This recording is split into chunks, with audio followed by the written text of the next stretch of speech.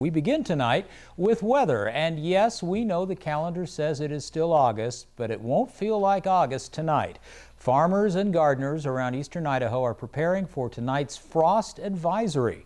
To talk about the risk, Eyewitness News reporter Steven Pope joins us. Now, Steve, if crops were to freeze tonight, what sort of impact would that have on consumers? Well, Chris, prices, particularly on potatoes, could go wild, but farmers are taking some measures to protect their crops. And you gardeners at home can take advantage of these tips as well.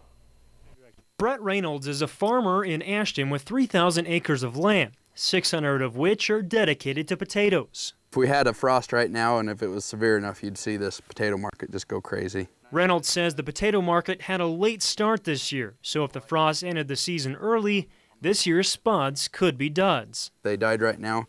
Some of the guys would not have enough uh, size to be able to, to make it up, even the diggers right now. But farmers like Reynolds are taking protective measures. Uh, one of the biggest things is we're trying to keep the fields uh, soaked up and wet.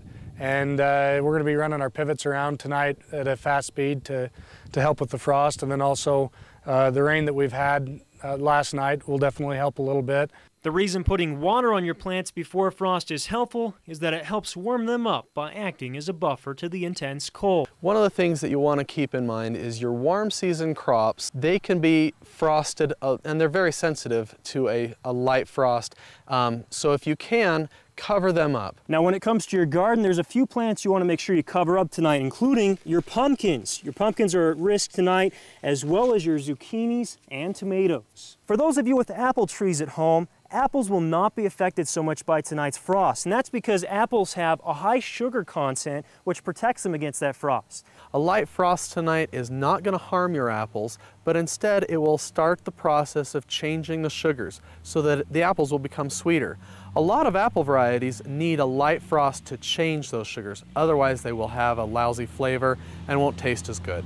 81-year-old Jolene Parkinson has had a garden for about 60 years. Okay, I'm really not too concerned about the frost tonight because the beans will freeze, but I've been picking beans now for two weeks. The corn, it's just about ready, so I don't think it's going to hurt the corn. It will kill the zucchini and the pumpkins, and they're not ready. So be sure to water your plants and cover them up if you can. Now earlier today, the Weather Service had issued a frost watch, but later that was changed to a frost advisory. The advisory means that conditions are prime for a frost to occur. I'm sure Steve Cannon will have more about that, Chris. Well, thanks, Steve. We're going to find out about that right now as we switch gears over to Steve Cannon. And Steve, how worried should folks be tonight about the possibility of a frost? Very worried. In fact, we're expecting near record low temperatures for most of the area.